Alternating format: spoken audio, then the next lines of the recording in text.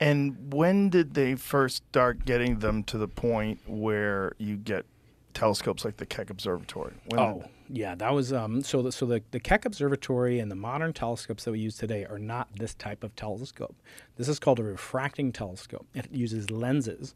The lenses change the speed of light inside of the medium, and that causes light waves at different angles to travel through different thicknesses and travel slower, and that causes them to converge or diverge as necessary.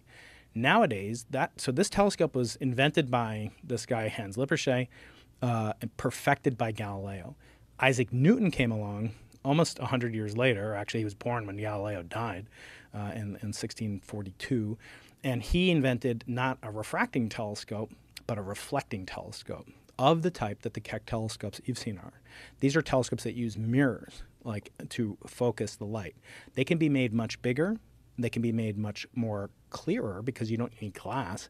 You just need highly reflective media.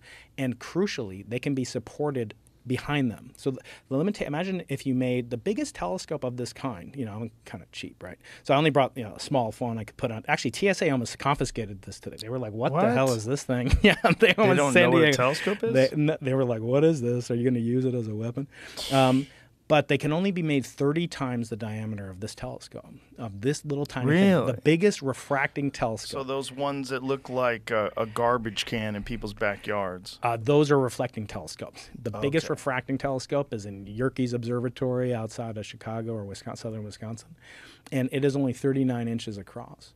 So Hmm. what happens is, imagine you have a piece of glass. Uh, over time, the glass will start to. Is that it right there? That's it. Perfect. Oh, that's pretty wow. dope.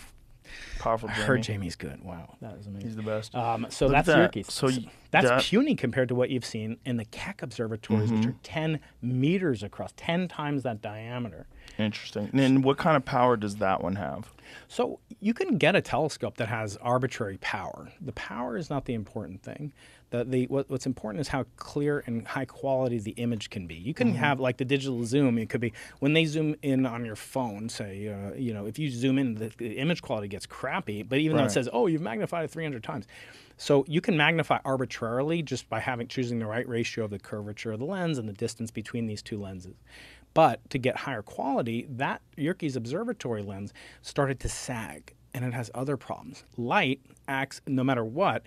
Uh, gets distorted when it goes through a medium. It's actually getting distorted right now as it goes through the air. And you've seen this effect. Here's my second prop of the day. This is a prism. This is a prism made of just like ordinary glass, plexiglass, and that refracts light depending on its wavelength. So This you, is like the kind of stuff a hippie girl would keep on her her desk, right? That's right. I can uh, you can make it into a pendant for your wife. Um, so that is changing the color. The speed of light is getting modified depending on its color as it goes through that medium. The lesson is, glass affects the color of light's propagation speed. And it affects the quality of it. It's called chromatic aberration. So there's aberration because of the defects, like a crack in the glass. There's also a defect that different um, wavelengths or colors of light will focus at different points on your eye or on a, on a detector. And that's bad because you want everything to come to a point focus. You want everything to be perfectly sharp and focused.